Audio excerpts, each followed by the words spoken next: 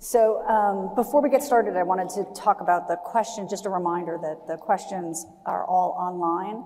Um, and if you can use the QR codes on your, uh, on your tables to submit questions online, and I think I get them on this iPad here.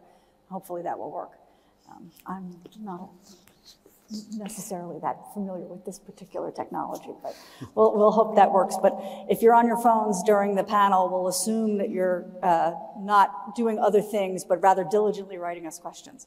um, and now I'd love to ask my panelists to introduce themselves um, and give us two minutes of their of their background. Georgie, so uh, let me start. Hi everyone. So I don't work for a company called Serial Tech, um, but, but hopefully after three roles in um, as a CFO, I can be called a serial CFO.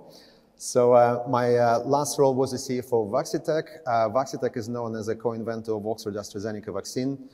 So um, uh, we just we were not just only about vaccines, but uh, we have a full pipeline of clinical assets and going after big indications like hepatitis B, HPV, um, uh, lung cancer, and many others. And um, during my tenure at um, um, at Vaccitech, so um, I led the IPO of uh, Vaccitech on Nasdaq. Also, we did a pretty significant funding round before that of 168 million dollars. So a few other deals, and uh, by the way, obviously the uh, IPO on Nasdaq was with the help of our partners from uh, uh, BNY, so it was great working with you all. Um, before that, I was a um, CFO of Exscientia, which is the AI drug discovery business, which also went public on Nasdaq. And again, I think that business is a bit more of a mix of a biotech um, or biology, chemistry, and machine learning. And before moving to the um, biotech world in 2017, um, I actually spent around 17 years in investment banking, Goldman Sachs, UBS, took around 40, 50 companies public, uh, raised uh, or helped my clients raise um, numerous um, private and public funding rounds. So did a lot of work, work investor relations, uh, public relations, M&A, and um, almost embarrassing to say, started my career in, in, in 90s. There, there are a few of us around. Hi, I'm Anna Tomczyk. I'm a partner at Dechert. I do capital markets work, so I represent all types of companies, but largely life sciences companies. Pre-IPO, taking them public, and then once they're public, their ongoing reporting requirements in the United States. So my role at BNY Mellon, I'm Karen Bodner, and I run the Global Investor Relations Advisory practice.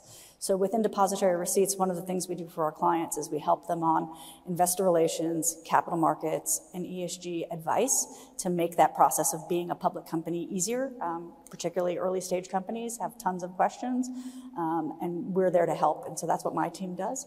Um, and I'll probably chip in a little bit as we're, as we're having this conversation. Um, I talk to companies all around the world, uh, and we really try to find the global best practices for investor relations and ESG and pass that on to our clients. So hopefully we can add a little of that flavor to this as well. Um, and I wanted to pick up on the last panel. So we, we, they sort of set the stage beautifully, and then now, like the perfect lead in to us, which is why and how to, to access the US capital markets. And I'm going to start, start that panel broad and then get more specific as we, as we go along. I'm going to start with you, Georgie, and ask you why should biotechs go public?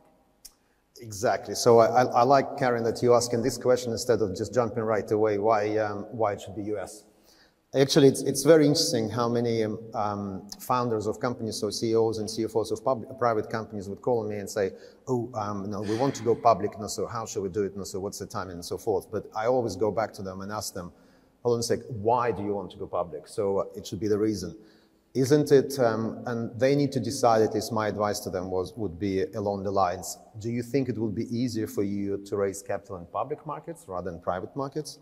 And I think Giovanni, um, in previous panel, I think his point was very clear that actually right now there are plenty of uh, liquidity in private markets. So it's not necessarily a company can go public and um, suddenly open more avenues for capital raising. And in fact, actually, if a company has got troubles or problems raising capital, um, capital in, in private markets, most likely it's a signal of sorts that actually maybe your equity story or readiness is not there and then public markets will not you know, miraculously um, solve this problem, number one.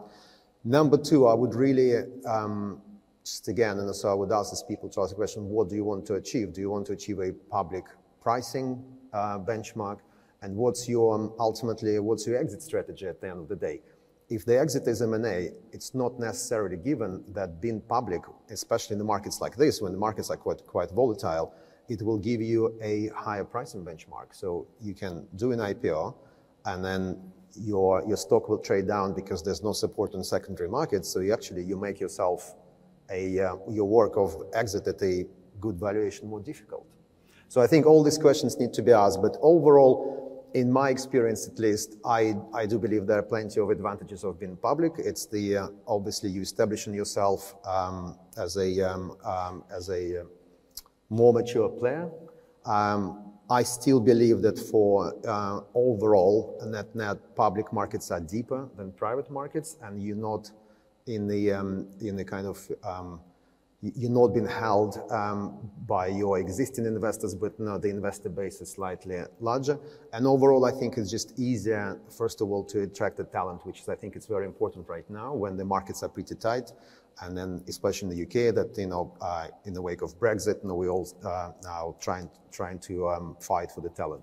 So yeah, so I think um, capital, uh, access to capital, um, exit or more liquidity to your shareholders, and obviously um, PR moment and um, you know attraction of talent. I think that's all what I would say would be the benefits of being public. Picking up on that attraction of talent is there a business rationale to go public in the US as opposed to another location? Yeah, so um, um, th that's an interesting bit. So, for example, in Vaccitech, I think we, um, we benefited from having offices in both locations. So, we're a UK based company, however, with significant presence in the US. And I think from that standpoint, um, the, the, business rationale was, first of all, you actually show yourself that you're more mature, and I think it was much easier to attract the talent on, uh, on both sides of Atlantic. Uh, overall, um, I think um, around 70% of the global pharma market is in the US. So I do believe that you increase uh, your visibility by listing US from the business perspective. Obviously, I'm not talking about the costs yet, and I, I guess we'll talk about it a bit later. Exactly. And I still believe that the uh, ecosystem of biotech companies or broader life sciences companies in the US is much larger. So uh, especially if you're a UK company with no presence there, I think you help to establish yourself in the US markets and get yourself more known to peers. And what would you think of as a capital markets rationale? I mean, to talk about the depth of the investor base, we can talk about valuation comps, for example. Sure. It, again, I think no, so it's an interesting point because I would always step back and would say, okay, what's the home market for a company? So it's not necessary that US will solve all your problems, and the home market will be defined by presence of peers, understanding uh, of the overall broader understanding of the industry, then I guess um, depth of the capital, knowledge of investors, um, and I would, I would say analysts. So and from this standpoint, and, and obviously regulation comes into play, although I've, I've got my views on regulation, I'm, sure we will be able to, to exchange. And from this standpoint, I think it's, it's easy to say it so that companies need to decide what's their home market. It's, for example, it's very interesting that it's not like a lot of fintech companies, for example, in the UK, they, they rush to US because it's actually a pretty deep understanding of fintech and financial services in the UK and Europe. And therefore, there's no real necessity. And actually, there are plenty of specialist investors. Whereas for me, um, in my personal opinion, understanding of the biotech markets in the US is significantly deeper. And then um, um, if we um, look at the uh, investor base and start comparing, for example, UK to US, I think it becomes very clear that um, you have specialist investors in the US and they're the dominant force of the biotech markets, right? And so mm-hmm. you obviously, as I, as I are a specialist, and so I guess you can, you can vouch for that. Whereas in the UK, um, you have plenty of broader life sciences healthcare investors, uh, but ultimately it's the same investors who would look at in a small at a small biotech, but also would invest in you know in AstraZeneca's of this world. And you know it can be an anecdote how many times I would come to U.S. investors and their first question will be, "What's your revenue?"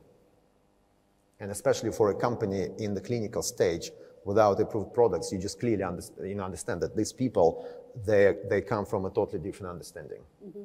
So, so yes, so I do believe that the understanding of the biotech markets in the US is significantly deeper. And also, I think they're more attuned also to, towards the loss-making companies, by the way, in Right. general. Yeah, well, there's certainly a, a structural aspect of that, and we're talking about, I think Gil was talking before about uh, also depth of risk, non-risk averse assets in the United States, or investors who are more risk tolerant um, with early stage companies. And then on the structuring side, for example, you know, you wouldn't necessarily be able to do in Hong Kong uh, uh, as early stage a company if they're not um, you know, revenue generating. Anna, what do you think about sort of structural reasons to list in the US? Yeah, you know, I think there's a few things that you want to look at initially when you're considering a US listing, whether you qualify as a foreign private issuer or not. A lot of European companies can come over to the United States and qualify as a foreign private issuer, or an emerging growth company, which a lot of biotechs automatically will qualify for. Once you know that, you'll really be able to structure your offering document, your deal ideas and kind of where you want to go with your deal. But you, those are those initial questions that you want to answer. And then once you're once you kind of know your basic rubrics, then you're, you're going to look at your audited financials. Do you have an outside auditor who those audited financials are appropriate for a U.S. offering document? If your corporate governance is up to par where it will qualify under the US listing requirements, and there again, it goes back to whether you're a foreign private issuer, where there's a lot fewer corporate governance requirements, but still some, or an emerging growth company, and similarly, there are certain provisions available for emerging growth companies. And then at the same time, you want to look at your management team. Make sure your board of directors they're ready to be public company directors. Same with your ceo cfo do you have a C- cfo or do you need to bring someone in who can get acclimated at the company? So i think those general things are the basic building blocks and you can start working on those even if you don't necessarily have a near term ipo or listing in the near term horizon and then similar to what the previous panel was speaking about, it's you need to have a clear story for the market, whether it's upcoming milestones or inflection points, whether you have a clear understanding of your reimbursement strategy for a US marketed drug or product. And in addition, to look at your competitors and make sure that you can either differentiate yourself or show how you're an improvement upon some other competitors in the marketplace for your drug candidates. Georgie, I want to follow up on two of those, two of those things with you. The first is, how long do you think it takes a new CFO coming, so you've done this a couple of times, so coming in to get all those things in place, to get the story in place, to get the auditors in place, to get the board, the board um, corporate governance right. How long does that take, and what are key hurdles or stumbling blocks that you've experienced? I should be careful. There's one of the board, board members of Vaccitech sitting here. And I know it. so be nice. exactly. exactly. Um, it's, it, you know, it's like in, uh, um, it's like in Anna Karenina, yeah. So everyone's happy in their own way, and or, or everyone happy the same way, and then unhappy in their own way. So I think it's the same about happening. The companies, if everything's going well, it's most likely, you know, so it's been done a good job, and then you come join the company, and you think, or at least you've been told everything's fine, just plain sailing. You have four months to take it public, and then you realize, oh, and then like all idiosyncratic things are happening. So in my experience, the biggest, um, uh, not a challenge, but um, the biggest lesson learned, what I've noticed is the uh, difference in understanding of the business or the infrastructure of a business between the board and CEO and what's really happening. Because um, ultimately, they see the bigger picture. They see, um, you know, the company's going well, so most likely it's all fine. And then you join and start talking to the auditors and not just saying, uh, who told you that we're ready to sign an opinion tomorrow? We are three months behind the, the schedule. So it, it's all it's all things like that. So I do believe um, in the early preparations, uh, the company should start, and especially if a company start thinking about, okay, we we have a public route. You know, as much as it's more expensive, start doing things properly right away, even a couple of years before the IPO. Don't work on a, on some cheap accounting system don't wait for to do an audit right before the IPO, but maybe it makes sense to start doing audits right away. Do hire a, an auditor which understands public markets and not just your cheapest option. So um, yeah, so I think all stories are different, but I think at the end they go to the same, so they go to the same place, and at the same place come exactly to your point. First of all, there should be a strong equity story because it's it's no. Um, it's very interesting. So five years ago, the average biotech company was at, at phase two during the top of the market a year ago, it was preclinical. So we should clearly, market, I think, was feeling toppy or feeling more aggressive. So equity story, and then start your preparations early, not four months before, but a year, year before, and then work already as, as, as, as if you will be public.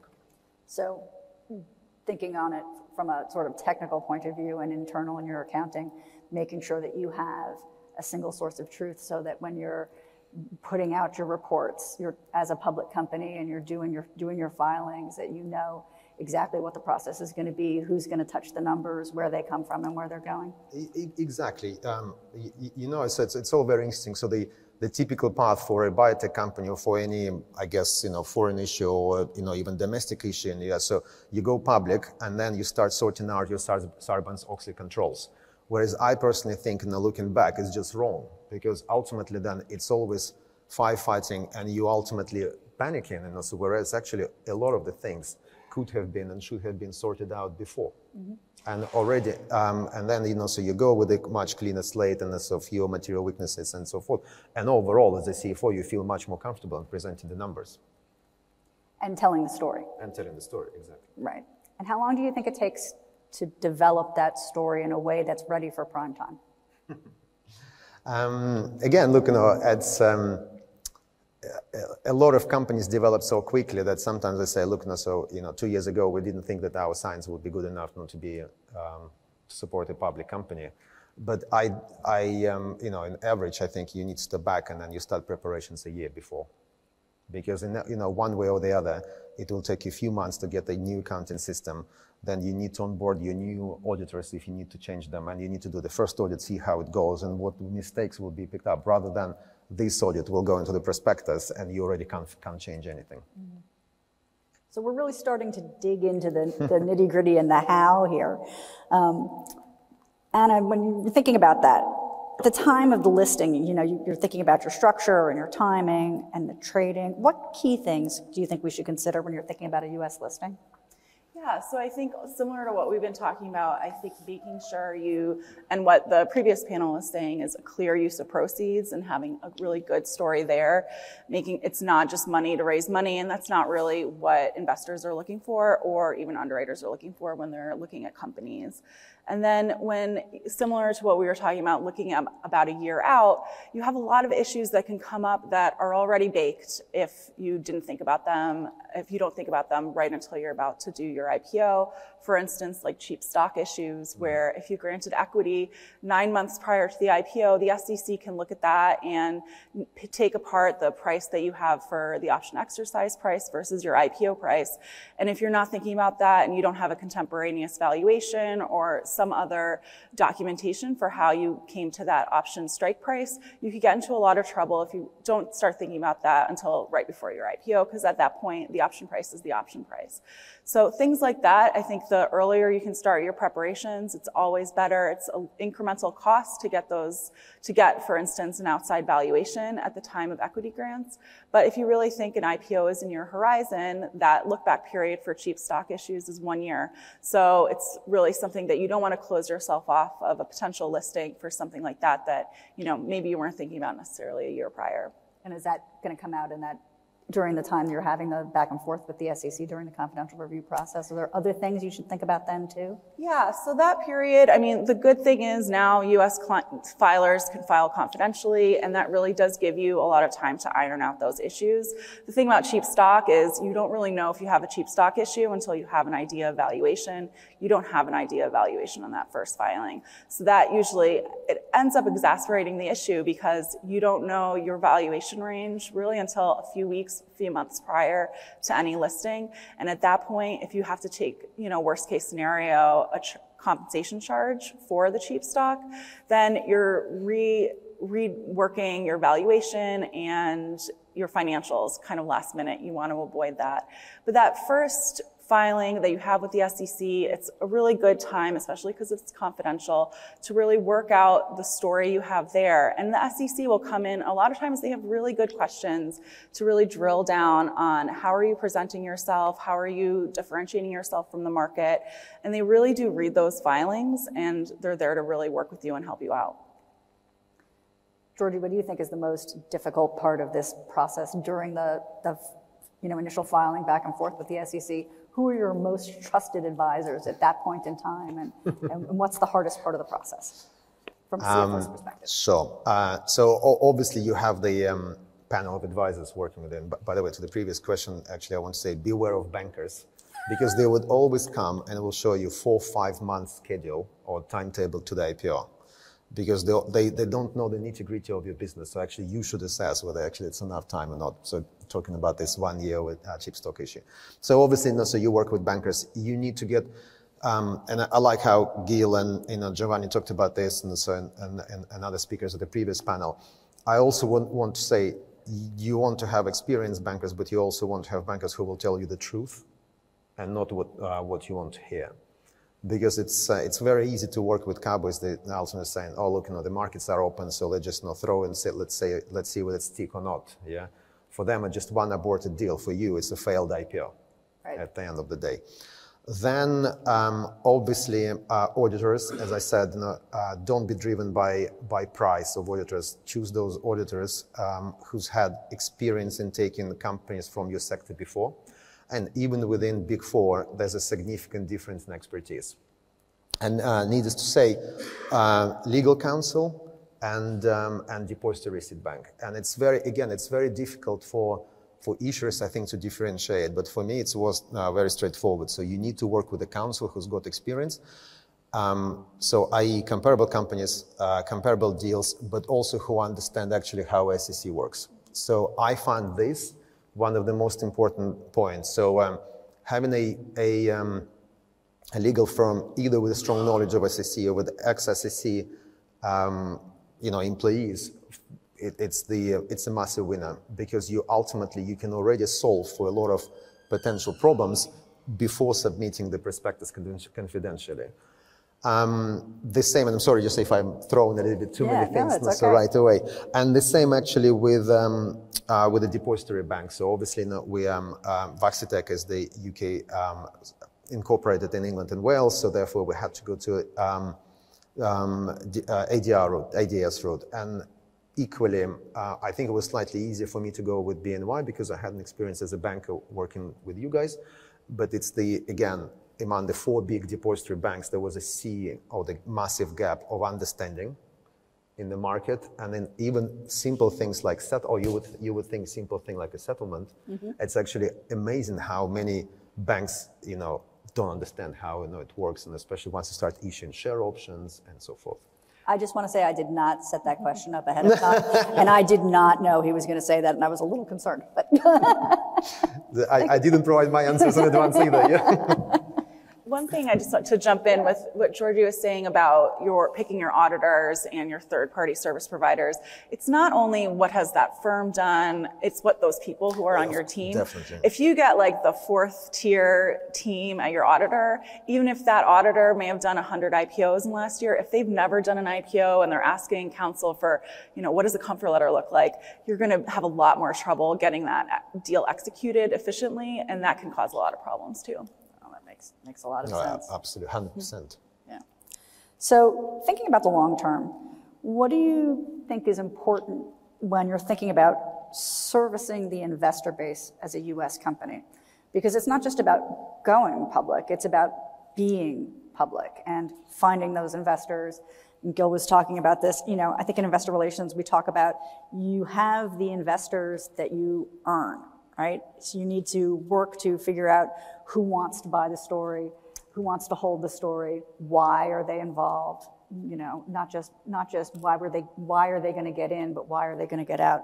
What do you think, Georgie, in terms of communications um, and how you would approach that? And I'm going to turn to Anna in a second about, about disclosure. Mm, sure. So, Karen, I think it's important also to maybe almost like step back and before you kind of start thinking, okay, how will I work as, uh, with investors as a public company? you build your capital structure and you build your investor base at IPO. So I think for a lot of companies, if they see that they are testing the waters process or any pre-marketing you do doesn't show that you will be able to put together strong investor base, it should be a red flag. Because it's actually, it's not that difficult to do an IPO, especially in the US where you have a lot of hedge funds and a lot of deal players and, and to have the multiple times oversubscribed deal, just to realize the next day that you're down 20% because all these deal players didn't see the, the, um, um, the pop in, the, mar- in, the, in your share price and they exited right away. So ultimately, you left behind with your previous shareholders, which know which cornered you at the um, or anchored you at, um, at, at your pre-IPO crossover round, and actually you don't have any new people to buy your stock. So I think I would start from this standpoint. So who are your um, ultimately whom are you getting at IPO, and is this the people who will support you going forward?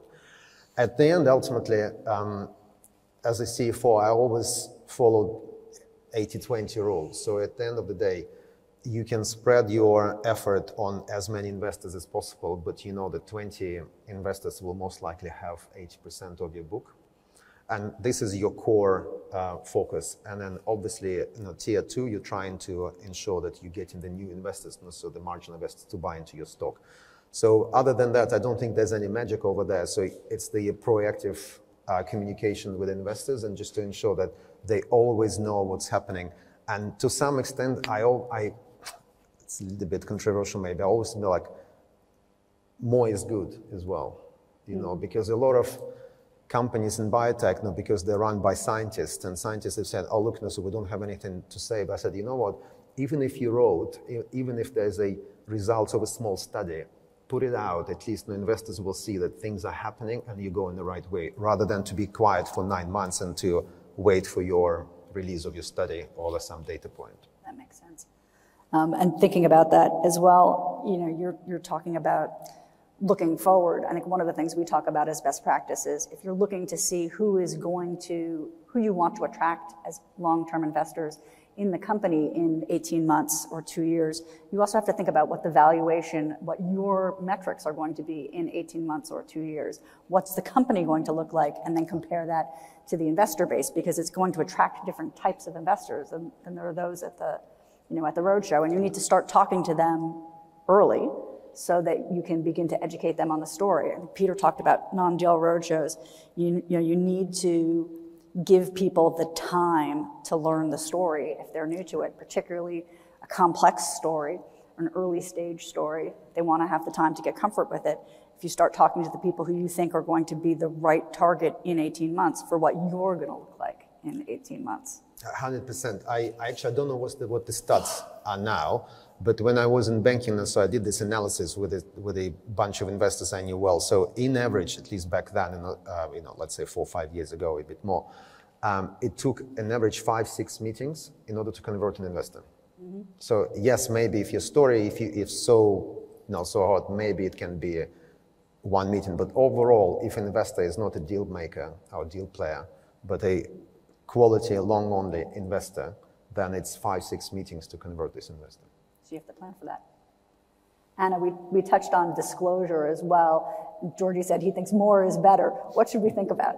Yeah, I mean, I agree with Georgie. I think especially balanced disclosure is important. Um, a lot of times with inventor or scientist CEOs, it's their drug or their product is their baby, and they can really push sometimes against risk factors and qualified disclosure, and they're just looking at the bright side of things. So I think that's one really important thing, especially in the US capital markets, is that risk factors or cheap insurance throw in kind of the worst case scenario, perhaps, because at least then you'll be covered. Um, and I think that people who take it too personally and think, well, that'll never happen, or there's such a small chance of that, then you can get into trouble because anything can happen with science and clinical trials can go haywire. You may not have anticipated that, but if you have that protective disclosure, it can really protect you against unforeseen issues. That makes sense.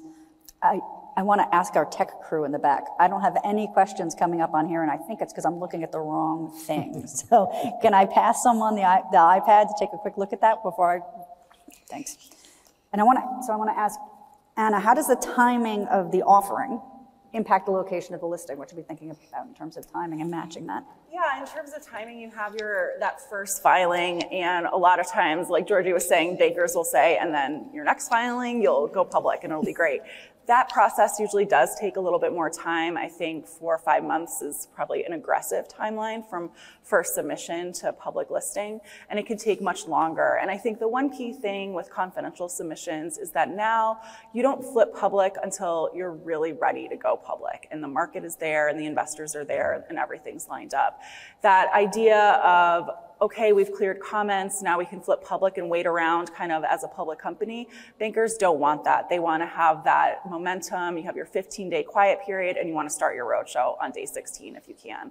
Anything that kind of pushes away from that will cause might cause problems. You know, investors might wonder: Is there something wrong with the story? Is there something wrong with the company that they're waiting so long? So I think it's like you really spend a lot of time in that confidential period, and that can be difficult for companies in terms of their ongoing marketing, their ongoing public publicity, because that is such a kind of quiet period when you're in confidential review. So you do want to just be careful about that period and what you're doing, and then when you flip public, you're really ready to go. Makes sense. Georgie, any comments on that? No, from the timing perspective, so yeah, um, can't agree more. Um, I think overall it's very difficult to time the market, yeah, and especially when the markets change so significantly. So hopefully, you know, in a few months we'll get also in a bit more stable markets, and then there will be proper IPO window. But um, I think uh, purely from the IR perspective or the CFO perspective, time the entry to the market so that the first six months or the first year, maybe it will be also um, there will be plenty of things to say to investors. Mm-hmm. Yeah, because um, ultimately the last thing you want is actually to to go public because you had a great, let's say, past 12 months, and there's a lot of happening, but not much happening in the future. And then, as Gil said, you know, so the typical portfolio manager will have you know tens of stocks, and if nothing is happening, ultimately the no catalyst, you will be just be dumped so I think ensure that you time the market not when you think you already put all the good news in the market, but time it that actually you think you will have something left for investors to see, and then to have more disclosure and to, uh, so, yeah, ultimately to tell the better story about progress. Yeah, I think that also matches with what the earlier panel was saying about getting feedback from the market on both your, not just on your valuation, but also on the strategy. Um, and then that's, you know, a key thing that an investor relations officer should be doing is gathering the feedback and feeding it back so that as you're crafting that story and thinking about the future, you're having that conversation with the market. Would you yeah. agree? Yeah. And, uh, and, and learning from what they're telling you? Uh, definitely. And uh, it's interesting, another point, no, Karen didn't put this question before, but do you, sometimes it's good to use the third-party IR professionals because quite often an investor will not tell you into your face the truth. Right. So uh, as much as, no, as I can call, I would hardly remember someone will tell me saying, sorry, your company is crap, we're not going to invest. Yeah, they would always find some nice kind of sugar coating over there saying, oh yeah, yeah, so just maybe not the right time, but I'm definitely doing work. It's just like I'm building this model or whatever it is sometimes it is helpful to use a third-party IR professionals and then, or, you know... Um, perception study, something like yes, that. Yes, exactly. Yeah. Well, I, I always say when we talk about perception studies, it's not investors' job to be nice to you either. And so sometimes you get better feedback from a perception study from the, when investors get to be anonymous than you do otherwise, because no investor is going to call and say, "You guys are fabulous. I love you, and I'm never selling." Like they're just not. That's not their job. you know. Indeed. Um, Georgie, what surprised you about the process the first time you were with a company that went public? What surprised you about the process the first time you were with a company that went public? Mm, I, I was quite well prepared because I was on the other side in banking for a very long time. So I actually, um, I kind of knew what to expect. The biggest surprise was I always thought that advisors work longer hours than you because obviously I was a banker. I saw how lawyers would work day in and out, and then no, I actually realized, must have been a CFO, you work possibly more than anyone else. Because ultimately, if you don't do it, especially if you have a small finance team or you have the management team without previous public company experience, that ultimately it's on you. And if you don't do it, there's no, there's no analyst, there's no associate to help you, and you, you can't outsource it. So um, I think my working day was easily 16, 18 hours a day with for like four or five months in the same preparations. Ouch. I think one thing I've heard a lot from management at newly public companies is so often they focus on the IPO as almost the end game. Mm-hmm. And then all of a sudden they realize, well, now I'm a public company and it's only just begun. and you thought that was hard and this is much harder. Um, so I think not only getting ready for the IPO, IPO preparedness, but then also just public company preparedness is really important. Making sure you have systems and processes in place so that it doesn't all fall on the CFO and you have kind of the structure there and the employees there who can make things efficient and not kill yourself over and over. And an experienced investor relations officer who can talk to the market, who understands you know, their disclosure requirements, doesn't over disclose or under disclose. Um, and yeah, I mean, you have to plan like everything else. You're planning your business, you're setting KPIs and goals in the same way you do for the IPO. You have to, in the, uh, in the process of being public, investor relations needs to set their plans and KPIs and goals and, you know, how many investors are they going to speak to and what are they thinking about and, and how are they keeping the current investors informed. Anna, what new regulations or rules, things are coming up, the companies should have on their radar in the US? Know, I think in the United States, one thing that has been really big in the last year or two has been SPACs, and there's all sorts of new SEC regulations that have been announced, not yet finalized, but that's really going to kind of change the landscape of going public via SPAC, and I think really make it a lot harder. The SPAC market in general has already really slowed down quite a bit, but the new regulations will make it make a lot more liability for underwriters, both in the SPAC IPO, but then also the exit any pipe um, placement agents, things like that, that really will chill the market. So I think we'll see a lot fewer SPACs. We've already seen a lot fewer SPACs. These rules and regulations, deals right now are already trying to comply with what they think the rules will be. Um, so I think there's been a major chill there, um, and I, hopefully we'll kind of go back to the regular way IPO. I think the IPO process, having banks in the room, underwriters in the room at the drafting sessions is really, really helpful. You don't have that in a SPAC IPO, in a SPAC listing the same way. So having kind of a nice big team there to support you, and the focus is on having public company readiness, where a lot of times with de-SPACs, you get a listing and you kind of didn't really put all that planning in at the beginning. Right. What about ESG? ESG, I think, is getting more and more important. I think in terms of biotechs right now, it's not necessarily as at the forefront, but I think it's good, there's going to be more and more disclosure and rules that will be requiring more disclosure going forward. And really a lot of effort will have to be taken in terms of data gathering in order to meet with those disclosure and compliance needs. Yeah, I think, you know, part of the problem right now is there's differing approaches to ESG disclosure by the regulators here versus in the US. Um, and it's going to make it a little more difficult, I think, for companies to decide what to disclose and how to disclose it. Um, Georgie, how do you think about ESG? Uh, it's, an interesting question. So, um, first of all, I think there's a big difference between the markets. I think Europeans, it looks like, much more focused on, on ESG in general rather than even the US regulator and US investors. I think there's much more talk over here. So um, for now, if you're a US company, I think, and please correct me if I'm wrong, but overall, it's on the company to decide what you want to say. And I think for it's, um, of course, you can attract more um, investor following because they're more passive ESG funds. But what I've noticed, it's actually, um, it almost so first of all, you need to, decide what you want to talk about ESG, right? Mm-hmm. So uh, I realized that the biggest angle, positive angle, was actually in recruitment, because especially the young crowd, they want to see companies doing well while doing good. I'm sorry, just using this cliche, but it is true. And a number of questions I was asked during interviews: What do you guys do in terms of diversity? And then equality. It's actually quite something, and that's why I think, you know, I pushed, you know, my colleagues, you know, my, in my previous company to actually to disclose it because I think, you know what, there's a good things we're doing, so let's not be shy about this. Mm-hmm. Not with the way, not with the view that suddenly I will attract more investors, but it's actually if these things happening and they're happening naturally, not just because we need to follow some regulations or instructions, you know, let, let's be honest about this and hopefully we'll attract, you know, diversified and talent as well. And if it's material, it's got to be in your disclosure, right? And if you really think that it's important to your company and that it's material to your business, then you have to disclose it too, right? Yeah, I agree. And but I also think, you know, right now, like Georgie was saying, the regulations, you can get away with pretty generic disclosure for a lot of it. You do now with the um, the exchanges will require you to have more specific diversity disclosure about your board of directors, for instance. But for the most part, you can kind of have generic language.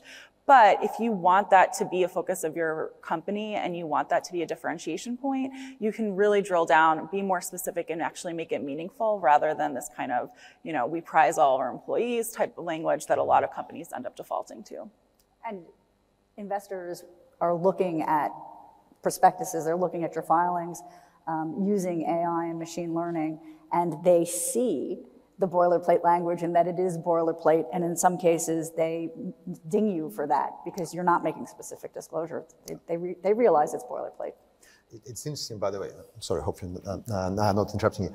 Um, it's interesting. I got more pressure from analysts rather than investors. So from covering um, research analysts covering the stock mm-hmm. to be more um, pronounced about ESG. So the, that was very interesting angle. So investors, I think, and again, because there's so much talk right now in the US that, um, which I feel very, you know, I feel very bad about this, saying that the companies should not worry about ESG, they should be worried, worrying about profits, which, you know, my personal opinion, I don't agree with this, but no, I'll leave the debate for, uh, for here. But so that's why there was more push actually from analysts saying, guys, it would be great if you start showing your ESG initiatives, because ultimately it will also you know, show company in a better light if it's a real thing. Yeah, makes sense. We have just time now for one key takeaway. What would you leave this audience with? Um, if, if you had to tell them one thing, if they fell asleep when we started, which they might have, what would it be that you would tell them? You know, I think it's prepare early, get ready, because especially when the markets are down, bankers, lawyers, we all have a little more time than we did before. So you can really work on making sure everything in your company is ready to go public when the markets switch so that you can really accelerate and hit the market when it's right for you. Georgie? That's true. Um, yeah, decide whether IPO is the right track for you before jumping on the whole, you know, IPO wagon, and then decide earlier what's your home market. Um, otherwise, no. And then, sorry, just no mumbling, but in sort of a regulation, I really, really want to say. So a lot of people were saying, oh, you know, uh, there's advantage of listing not in the US because, you know, US regulation is so strict. Sooner or later, there will be a massive synchronization of regulation one way or the other. So don't be afraid of US markets. That's a good one. And I would think my takeaway is you don't prepare to go public, you prepare to be public, right?